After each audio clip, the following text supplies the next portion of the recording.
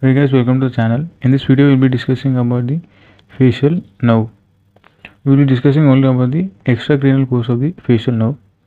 So the facial nerve comes out of the cranial cavity to the stylomastoid foramen at the base of the skull between the mastoid and the styloid process. Now let's see the 3D anatomy.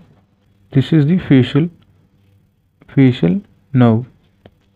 This is the facial nerve. This is stylomastoid foramen. The facial nerve comes out of the cranial cavity through the stylomastoid foramen. Now let's go to the second point.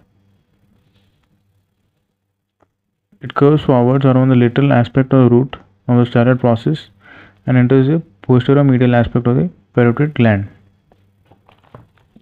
So this part, this part is the mastoid process. This pointed part is nothing but the styloid process. This is the facial nerve. Is the parotid gland and gives the five branches. These are the uh, terminal branches of the facial nerve. In the gland, it divides into two trunks, temporofacial trunk and the cervicofacial trunk. The cervicofacial has two branches, temporal branch and zygomatic branch. The cervicofacial has three branches, buccal, marginal mandibular and the cervical branch. Before going to the terminal branches of the facial nerve, we will go to the other branches of the facial nerve, posterior auricular nerve. This nerve arises just below the mastoid foramen and descends between the mastoid process and back of the EAM. EAM is nothing but the external acoustic meatus. It supplies the occipital belly of the occipito frontalis muscle, auricularis posterior and auricularis superior. These two muscles are the uh, muscles of the ear. Now let's see the diagram. So this is the diagram. This is the facial nerve. Uh, it arises just below the stylomastoid foramen. This part, the part which the facial nerve is coming out, this uh, space, this hole is not, is the stylomastoid foramen. So it ascends between the mastoid process. This is the mastoid process. So it ascends between the mastoid process and back of the external acoustic meatus. So it supplies the occipital belly of the occipitofrontalis muscle. We have learned it in the scalp anatomy. So that's the first branch to the posterior belly of the digastric. It arises near the origin of the same as the previous nerve and after a very short course supplies the muscle and gives branch to the stylohyoid muscle. This is the facial nerve.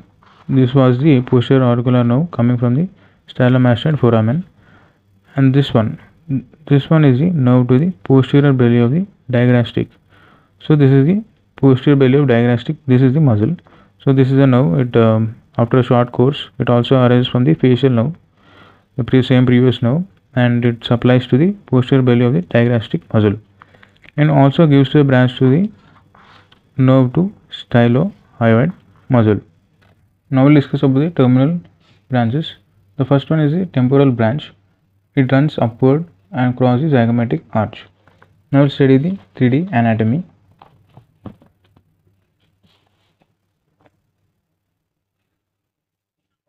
So this one is the temporal branch of the facial nerve. So you can see this part. This part is nothing but the zygomatic arch. So it is running upwards and crosses the zygomatic arch. So this is about the temporal branch of the facial nerve. If we remove the parotid gland, we can see the two branches. This this branch. This branch is nothing but the temporofacial branch of facial nerve. This is the cervicofacial branch of the facial nerve. Now let's go to second branch. The second branch is the zygomatic branch. It's below and parallel to the zygomatic arch. This is the zygomatic branch of the facial nerve. It is running parallel to the zygomatic arch. This is the zygomatic arch. This is the zygomatic nerve. So it is running parallel to the zygomatic arch. Now we'll go to the third branch.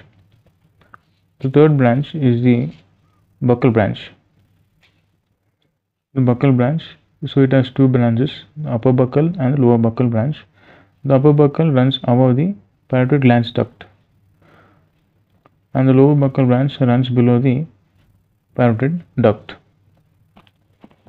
Now if we bring back the parotid gland, this is the parotid duct, this is the buccal branch, now is the upper buccal branch of the facial nerve, this nerve is the lower buccal branch of the facial nerve. Now we'll go to the another branch which is the marginal mandibular branch.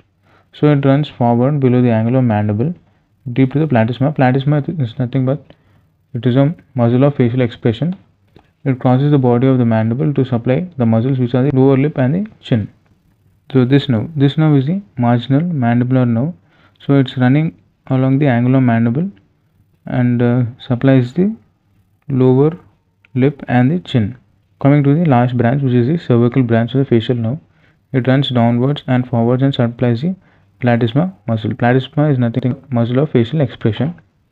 So this nerve is, is the cervical branch of the facial nerve.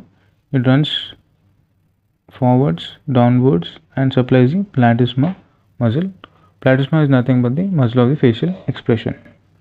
Uh, this is the cervical branch of the facial nerve. Cervical branch of the facial nerve.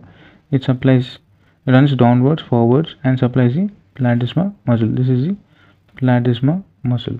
Next video we will be discussing about the facial nerve paralysis. That's all for today. Meet you in the next video.